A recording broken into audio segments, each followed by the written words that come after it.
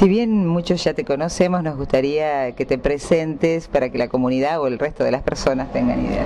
Bueno, mi nombre es Flavián, tengo 34 años y estudio la Tecnicatura en Bibliotecología. ¿Esto en el aula satelital, en el campus que funciona en la comuna? Sí, en el aula satelital. Si tendríamos que ir hacia atrás, ¿qué te motivó a estudiar en esta modalidad? Y lo que me motivó es que sería por el tema del trabajo, la familia, no podía, quería estudiar y no podía viajar a Santa Fe o no podía irme a vivir allá.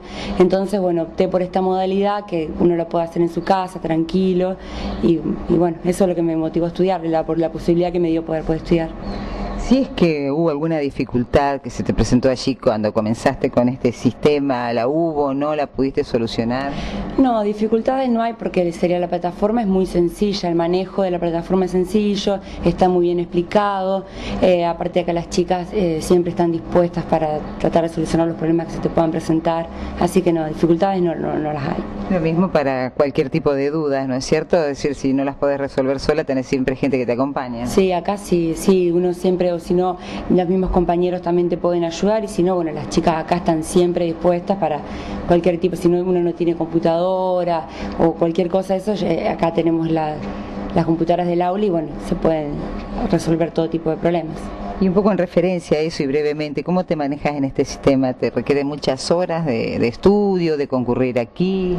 Las horas de estudio es la responsabilidad de cada uno. Cada uno se maneja con las horas que quiere estudiar. Si depende, si usted trabaja de mañana y de tarde, tenés la noche para estudiar, eso depende de la responsabilidad. Sí, el estudio demanda tiempo. Eh, uno no, puede decir, bueno, me pongo a estudiar y, no, no ocupo horas. Sí, demanda tiempo. Yo trato de estudiar cuatro horas diarias o tres horas diarias, depende el tiempo que tenga. Pero sí, todos los días revisar la plataforma, ver si te dejaron algún dato o alguna nota que tengas que resolver, algún trabajo que hay que hacer, siempre hay que recorrer la plataforma y estudiar. Flavia, ¿cómo se aprueban las materias? ¿A dónde concurren para esto? Primero tenés que regularizar la materia. Se regulariza por medio de internet, eh, realizando todo tipo de trabajos prácticos y cuando una vez que se regulariza la materia tenés que ir a rendir a Santa Fe. En mi caso, rindo en la Facultad de Abogacía. Es a nivel nacional, así que todos los, alumnos del todo el país nos, dirigimos ahí y ahí se rinde.